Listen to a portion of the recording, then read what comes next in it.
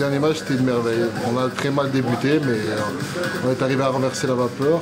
Au départ, euh, au départ ils jouaient pas, ils s'étaient un peu endormis. Après, ils se sont, ils sont mis dans le match. Je pense que pendant les 15 premières minutes, on n'a pas été à, à notre niveau.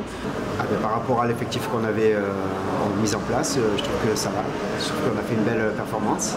Malgré euh, les absents et, et les blessés, ben, on a vu une très belle équipe de l'OGC Nice. Malgré tous les absents, et on espère être européen en fin d'année.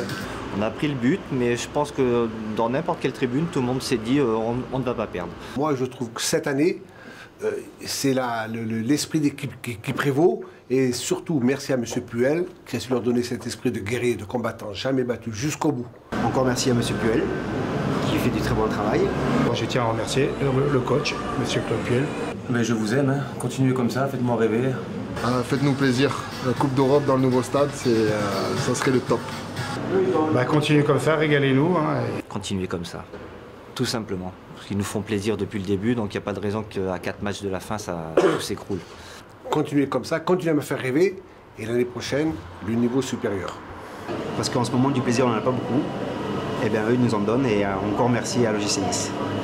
Issa Nissa